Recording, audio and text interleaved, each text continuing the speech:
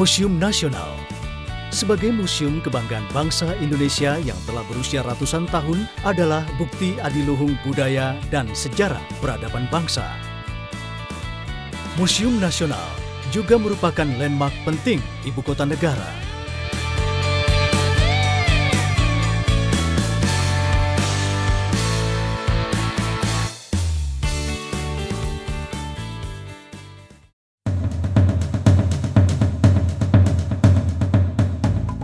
...24 April 1778 menandai cikal bakal berdirinya Museum Nasional Indonesia. Bermula dengan didirikannya Batavias Genootschap van Kunsten en Wetenschappen oleh sekelompok intelektual Belanda. Cita-cita himpunan ini adalah untuk memajukan penelitian di bidang seni dan pengetahuan, khususnya biologi, fisika, arkeologi, sastra, etnologi, serta sejarah. Pada masa pemerintahan Inggris, Sir Thomas Raffles menjadi direktur perhimpunan ini.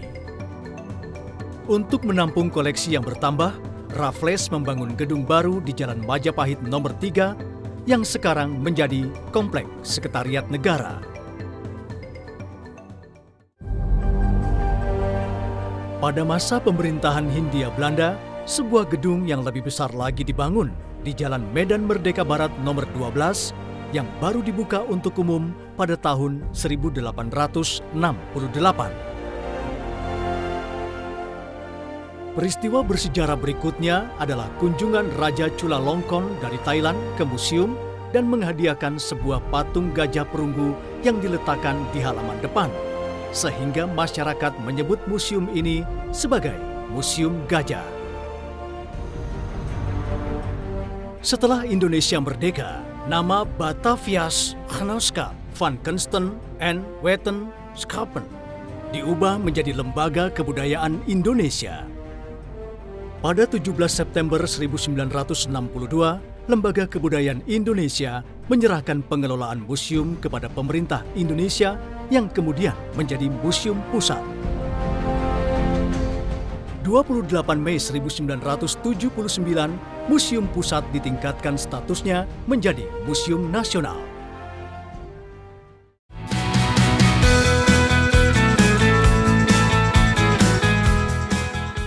Setelah mengalami beberapa kali transformasi, Museum Nasional saat ini menjadi salah satu museum yang terdepan dalam memberikan edukasi sekaligus objek wisata bagi turis lokal maupun mancanegara.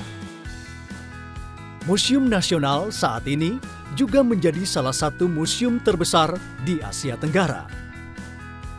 Koleksi museum tersebar di dua gedung utama, yaitu Gedung A dan Gedung B. Penataan pameran tetap di Gedung A berdasarkan jenis koleksi yang dikelola Museum Nasional.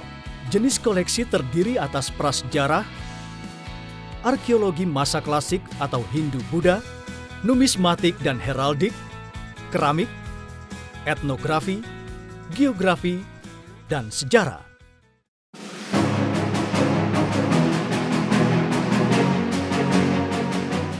Koleksi prasejarah merupakan salah satu daya tarik pengunjung yang terdiri dari koleksi masa prasejarah di Indonesia.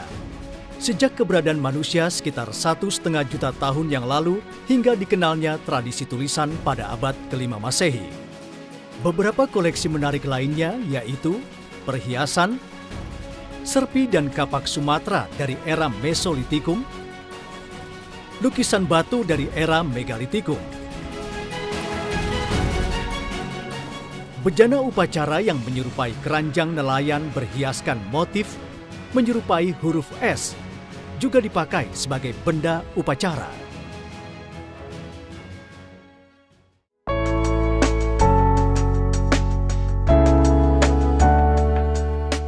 Koleksi arkeologi meliputi benda-benda budaya hasil kegiatan manusia dari masa Hindu-Buddha dan lebih dikenal dengan sebutan masa klasik Indonesia. Arca Manjusri Sikadara yang menawan menghiasi ruang koleksi arkeologi museum. Patung Buddha Amitabha, Durga, dan Mukalingga melengkapi koleksi. Koleksi arkeologi masa Hindu-Buddha yang berupa artefak perunggu ditempatkan pada ruang perunggu. Ruang perunggu menghadirkan berbagai koleksi perunggu mengagumkan yang berasal dari seluruh Indonesia. Berbagai koleksi dalam ruangan ini antara lain patung Shiva Mahadewa, patung Buddha di Pangkara,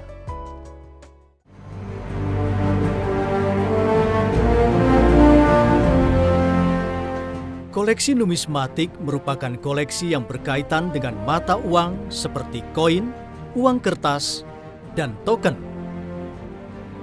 Termasuk alat cetak uang yang pernah beredar dan digunakan oleh masyarakat.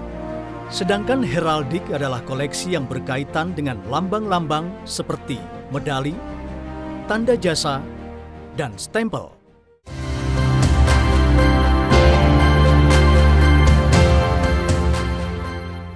Sekarang kita menuju koleksi keramik. Koleksi keramik Museum Nasional terdiri dari dua jenis koleksi, yaitu terakota dan keramik asing. Keramik asing berasal dari berbagai negara, yang terbanyak berasal dari Cina. Beberapa koleksi antara lain kendi, jambangan, vas,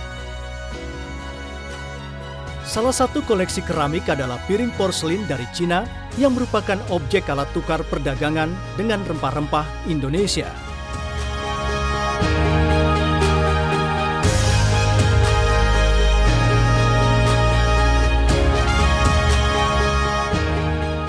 Koleksi etnografi menyajikan benda-benda atau hasil budaya dari suku-suku bangsa di seluruh Indonesia yang terdiri atas 1128 suku bangsa.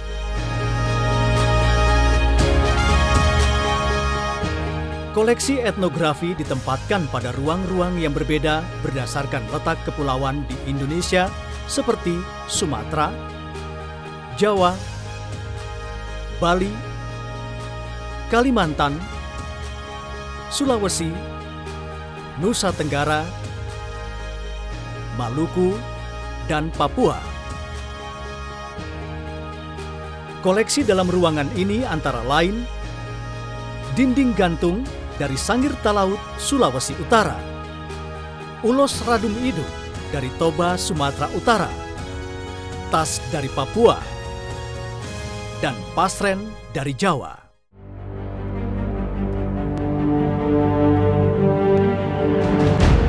Ruang tekstil menampilkan berbagai koleksi tekstil yang berasal dari seluruh wilayah Nusantara. Indonesia memiliki kekayaan tekstil tradisional yang memesona. Koleksi yang ada antara lain selendang dari berbagai kota yang ada di Indonesia. Ini adalah ruang rumah adat yang memamerkan berbagai model rumah adat dari berbagai suku bangsa di Indonesia. Pada umumnya, rumah-rumah tradisional pada suku-suku bangsa di Indonesia berbentuk rumah panggung yang disesuaikan dengan adat istiadat dan kondisi lingkungan alam mereka. Beberapa koleksi yang ada yaitu Rumah Adat Nusa Tenggara Timur, Rumah Adat Sumatera,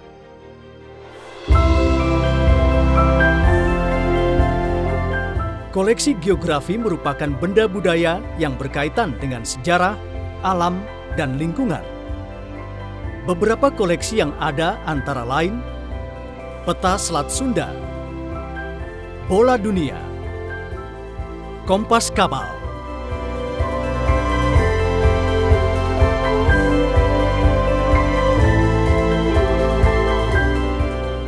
Ruang sejarah berisi koleksi benda-benda bernilai sejarah Indonesia dan benda-benda peninggalan dari masa pendudukan bangsa Eropa di Indonesia antara abad ke-16 Masehi hingga abad ke-19 Masehi.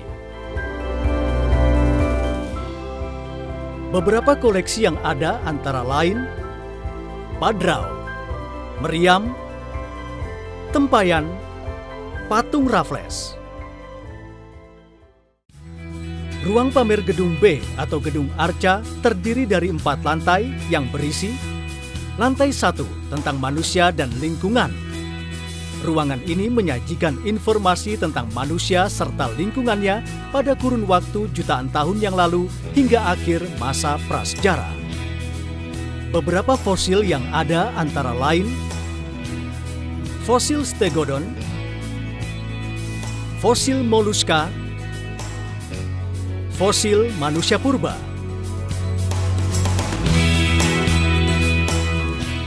Lantai dua berisi informasi tentang berbagai koleksi budaya materi, berbagai pengetahuan umat manusia, khususnya manusia Indonesia, serta teknologi terapan yang bersifat teknis. Beberapa koleksi yang ada antara lain timbangan banjar, sepeda, miniatur kapal pinisi. Lantai berikutnya adalah tentang organisasi sosial yang berkembang sejak zaman prasejarah hingga kini dan pola pemukiman masyarakat Indonesia. Beberapa koleksi yang ada antara lain gerabah dan terakota, hiasan kepala, hiasan perahu naga, dan lantai terakhir berisi tentang koleksi emas dan keramik asing. Ruang emas memamerkan benda temuan situs Wonoboyo, Muteran, dan regalia Kerajaan Nusantara. Koleksi keramik Museum Nasional sebagian besar adalah milik Egbert Willem van Orsoy de Vlines, seorang kolektor berkebangsaan Belanda yang kemudian menghibahkan koleksinya menjadi koleksi museum. Selain itu, terdapat keramik-keramik temuan dari kapal Texing yang tenggelam. Selain sebagai ruang pameran, Museum Nasional juga sering digunakan sebagai lokasi kegiatan bertaraf internasional, nasional, perlombaan, dan karya wisata. Kafe nyaman dan dilengkapi dengan hidangan yang lezat menjadikan Museum Nasional pilihan yang tepat dalam menyelenggarakan berbagai kegiatan tersebut.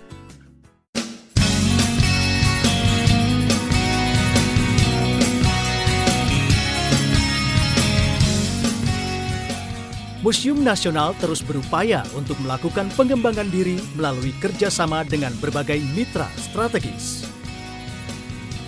Salah satunya dengan raksasa internet Google.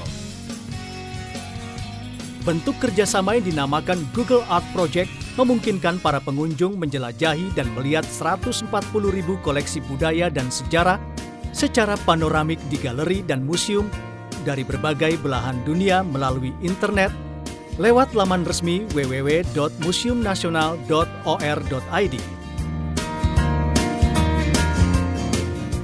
Museum Nasional saat ini juga tengah mempersiapkan penerapan teknologi augmented reality sebagai bagian dari layanan edukasi museum. Program ini bertujuan sebagai media pengenalan Museum Nasional kepada generasi muda yang saat ini disebut sebagai generasi digital melalui aplikasi mobile.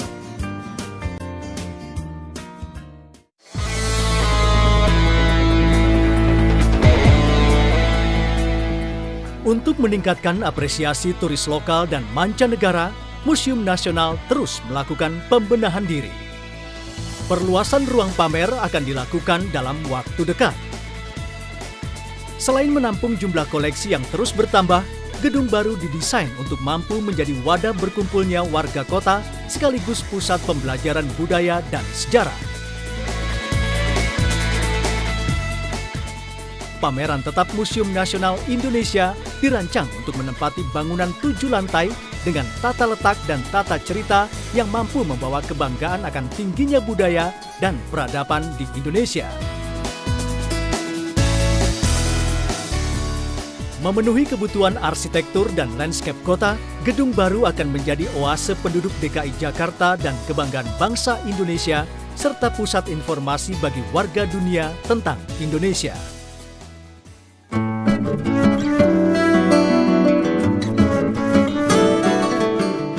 Memiliki lokasi strategis di tengah kota, Museum Nasional saat ini terletak di Jalan Medan Merdeka Barat nomor 12. Akses yang mudah dengan Transjakarta atau busway dari Blok M atau stasiun kota memungkinkan pecinta museum dapat berkunjung ke Museum Nasional setiap hari.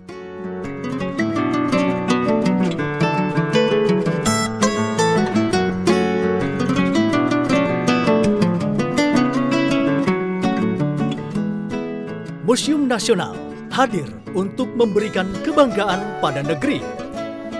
Bangga sebagai bangsa Indonesia. Mari terus semarakan Museum Nasional.